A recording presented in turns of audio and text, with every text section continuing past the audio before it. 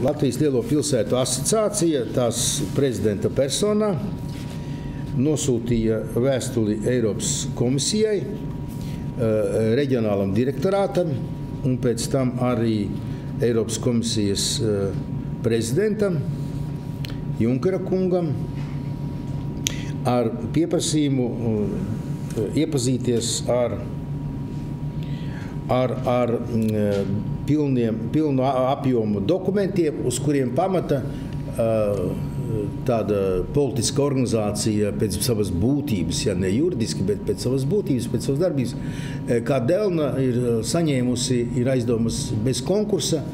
367 tūkstošus eiro, un kurus viņa daļu no šīs naudas izmantos priekšvēlēšana politiskā aģitācijā Rīgā.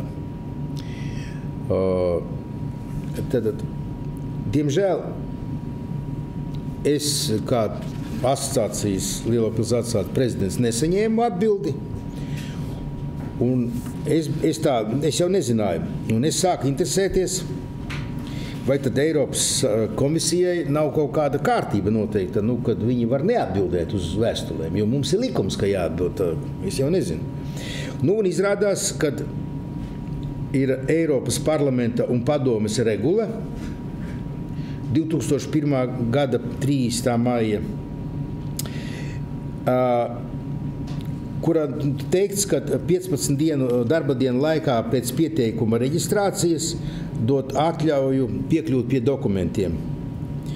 Un savukārt, ja, ja mm, tas apjoms ir liels, tad vēl uz 15 dienām var pagarināt. Var sakot, mēneša laikā jādod iespēja piekļūt pie visiem dokumentiem.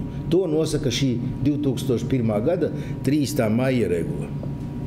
Un ko jūs domājat? Reku man ir apkopojums.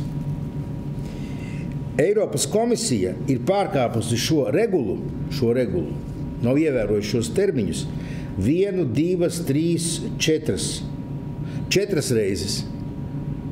Un, ja viņi būtu ievērojuši termiņu pat pie pagarinājuma, mums Lielo pilsētu asociācija vajadzēja saņemt atbildi 3. februārī 2017. gadā.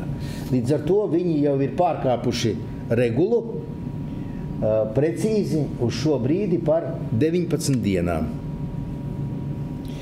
Es vienīgais nezinu, šobrīd vēl skaidrojumu, vai viņus var iesūdzēt tiesā vai nevar. Par to, ka viņi nesniedz informāciju. Bet tikko vakar saņēma vēstuli no tās Eiropas komisijas, ka viņi mūs informē, ka viņi pagarina šo atbildes termiņu Bet vienalga viņiem ir nokavējuši. Nu, viņi tagad pagarina par tām 15 dienām, bet pa mēnesi vēlāk viņi to mums informē. Nu, lūk, tā, tāda ir tā lieta. Tā kā es to lietu tā neatstāšu, jo tā Eiropas komisija mūs visu laiku māca, kā dzīvot. Pareizi? Ja? To mēs nepareizi darām. Un šito, un tur regulas un direktīvas, un man sakot, ne solis pa labi, solis pa kreisi nošaut. Ja? Vai vismaz sodīt. A tagad viņi paši ir. Saprotat, četri gadi no četriem četros pārkāpj termiņu. Simtprocentīgi. Nu, var tāda komisija strādāt. Saprotat. Nu, lūk, tā kā, tā kā nav brīnums, ka Angļi izstājas no šādas priekšniecības, atvadās. Nav brīnums. Un es domāju, ka uh, šis gadījums Tomēr vajadzētu reaģēt arī Latvijas uh, valdībai.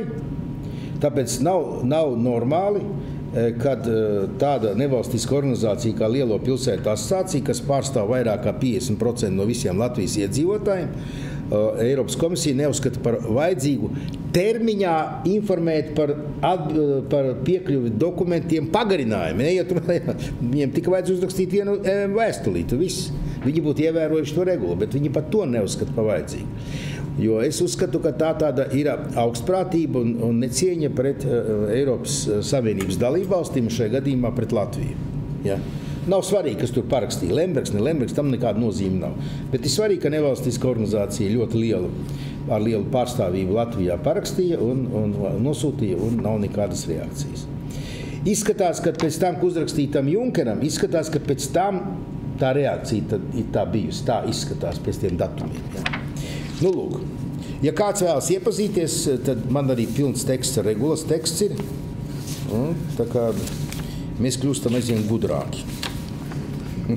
Tajās labirintos orientētos, bet nekas var, var noorientēties. Jā.